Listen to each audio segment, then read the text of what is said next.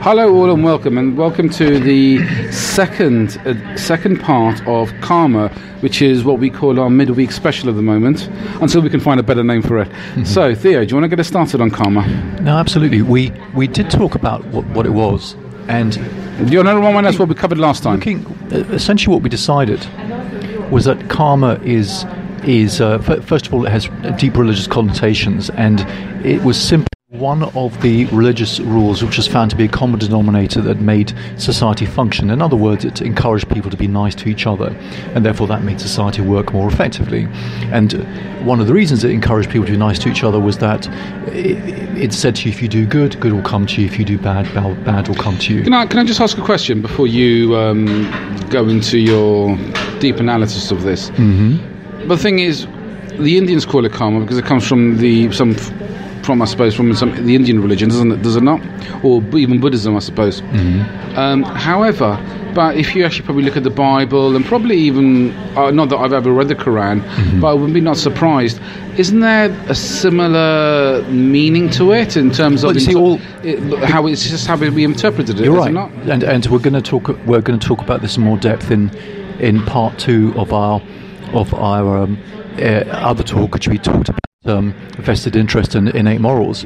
But you're right that bec- because there is there are sev- several common denominators to what makes people live together well and calmly and harmoniously, then of course different religions will have their different versions of the same thing.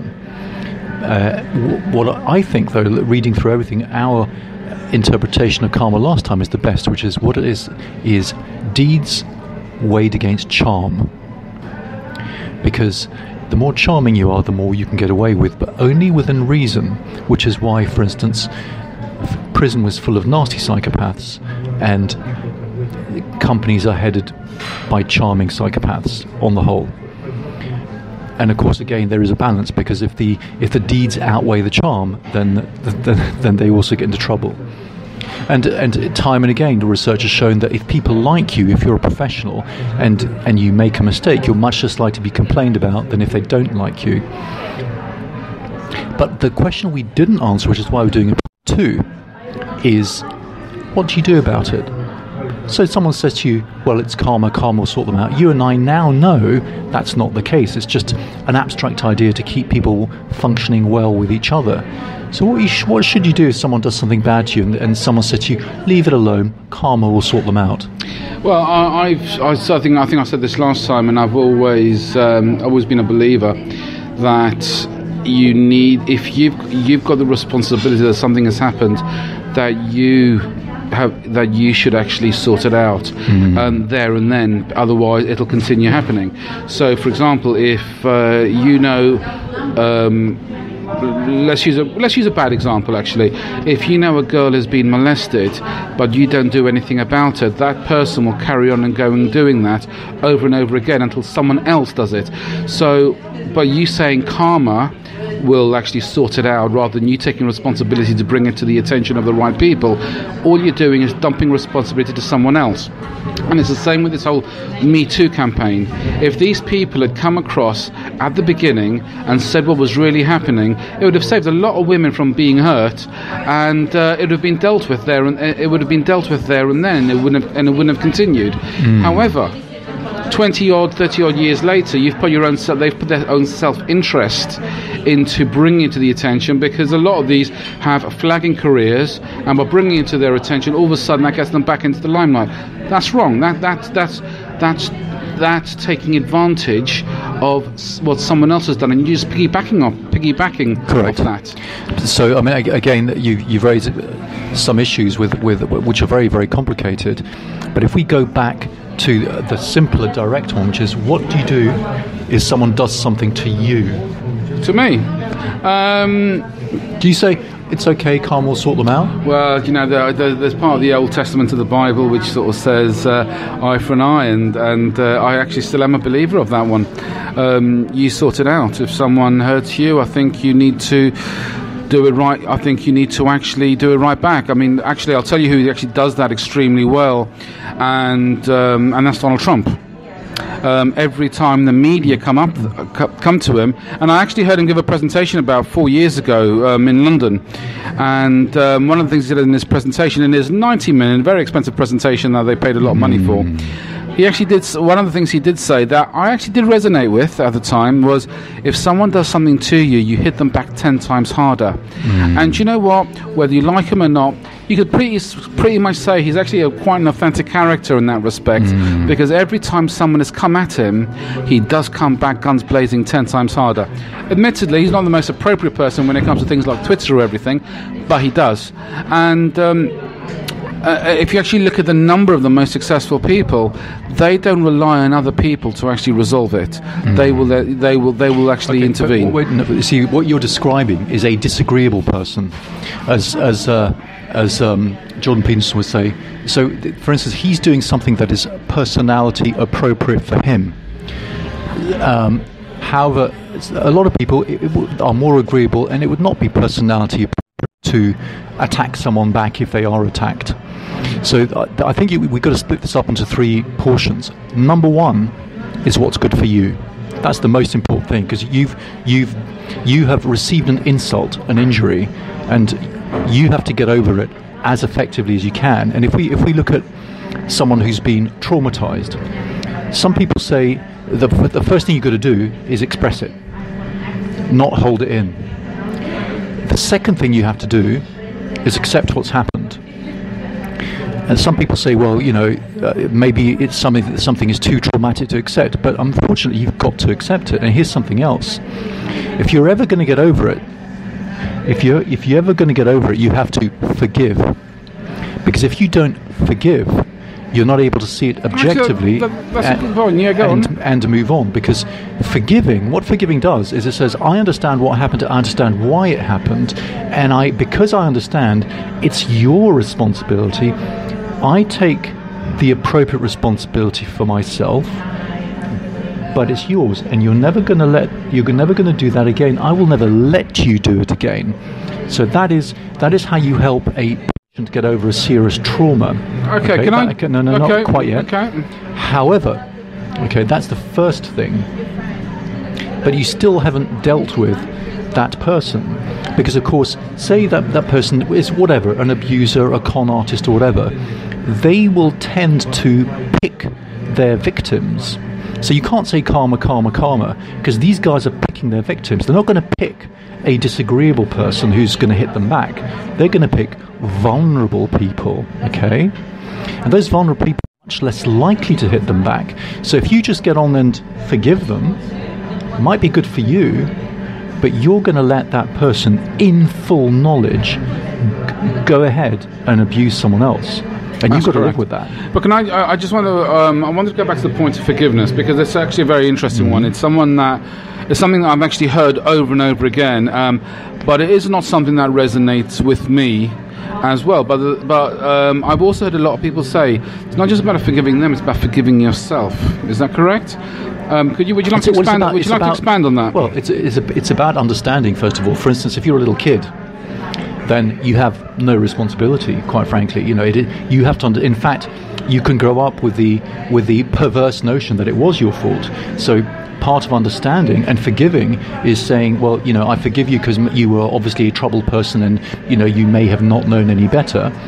But I now know it's not my responsibility and you will never ever do that to me again. So, but, but as you grow up, then of course there, there will be varying proportions of responsibility that you have to okay, take. So, so, let, so let me ask you this. So what does someone need to do to forgive themselves? Well, for, what actions can they take to well, forgive themselves? The number one thing is you have to be a very effective parent to yourself. Okay, so there are there are three levels of parenting. As a child, you have your parents, and then the main job of a parent is to is to teach and accept whatever you do. You you know your will always accept you. A bit like God, really. You sin, you're accepted. When you're an adult, you have to be your own parent. In other words, you have to know that you're not going to be perfect and not have ridiculous goals for yourself all the time. Otherwise, you'll never be content. However, the ultimate parent, of course, as an adult, is you live within a society, you need a parent for the society, and that is the state. So there are three levels of parenting that you have to go through. Now, therefore, for yourself, you have to accept yourself, and you have to accept yourself and say, "I accept myself. I know what I did as part of the the incident that happened, and I know that I'm proportionately responsible in this regard." But not all of it. For instance, as an adult, uh, unless you are forced beyond, you know, beyond any for any reasonable uh, way of predicting, usually you're going to have some kind of uh, culpability. Usually, whatever it is, you will have some degree of culpability. And if you had not acted in a certain way, almost certainly that awful thing may not have happened to you. Obviously, obviously it shouldn't have happened, and and it's a, a, a very nasty person who did it to you. But there will usually be a step that you took that made yourself vulnerable. Okay, so how do you actually forgive someone sitting opposite you who, let's say, has murdered your son or your daughter or something? Hmm. So how do, how does how does Jamie Bulger's mother forgive the two children who murdered her child at two years old? And the, inst- the first thing you'd think of, well, that's completely unforgivable, and quite. And uh, if, if I was the mother, I'd probably want to go and kill them. However, how would that really leave me feel if I did that? Do you think that would bring my son back? No, it wouldn't. Okay, so that the whole point is that the initial emotional, the instinctual response is wrong, and it's not going to do you any good. And and that person is not worth your spit. They've, they've done something indescribably bad. They are obviously a very problematic person. They've got their own demons to deal with, and they are being dealt with very severely. And at the time, they probably did not know any better, given their, their, their level of psychological functioning. And therefore, what you say is you, you, you are a person of indis- ind- ind- indescribable badness. And I forgive you for the person that you are because you. you what do you mean, you I- because me. because because this person is never going to be in a good place ever. If they think if they are capable of doing those things, their mind is never going to be at peace. Forgive them. Let them go their own miserable way and be punished by society. Because the number one thing is you. And if you say, I understand that you are an unbelievably bad person and bad person in this life do bad things, But, but, but let's face it, come on, if you actually went to a psychiatrist to see that, um, you know, um, they're not going to get shrinked in one session, are they? uh, who? The person who's The been person, you know, so, so so say that is Jamie Bulger's mother, for example. Mm-hmm. She's not going to recover. She's not going to get over that in one session. She's been carrying this for the best part of over twenty years. I, think, I mean, you're, it's, guessing. the thing is, it's indescribably bad, and so, so you'll never get over it. You can only understand it and forgive, and that is the best chance of reaching. am I'm still not. I'm still not responding to Ha- this. Hang on, and that is the best chance of you having attaining any peace of mind. Okay, it's not to say it's not to say that you'll ever achieve peace of mind, but the closest you'll ever get. Because if you hate, if you are vengeful, then you will be destroyed by those feelings. Well, actually, uh, uh, uh, uh, you know what? I actually heard it was on a TV show. I can't remember what it. What actually I do? It was Sons of Anarchy, and I know it's. I know it's Hollywood, Hollywood drama. But there was one thing that uh, that was said in it where the guy was saying, "I want to act on revenge," for example, and um, he, he asked. Well, he wasn't actually a mentor, but he was. He actually asked this person, and the person turned around to him and says, "Revenge is a physical need that needs to be acted upon so that the strong can remain focused." And you know what? Actually, I thought, do you know what? Yeah, I re- I agree with that. No, because it's all consuming. You see, revenge is actually an emo- it's not a physical need, it's an emotion. And emotions are fickle and unpredictable. And also, because it is emotion, then it's also a delusion, and therefore the effects of acting on your emotion are also unpredictable. Yeah, but So you want justice, don't you? Sorry? I mean, you, no, you well, there is no justice. There, there, there is no real justice. There's just the law, okay? And the law is not justice. The law is the law, and justice legal is justice. justice, Ah, there's- right. there's moral Eh, justice. correct. You're right. But but the the, the Calm, most, calm, calmanic justice, if you want to call it. the, well, the most important thing for you is your own peace of mind. That's what you need to achieve, and also so that you can continue functioning.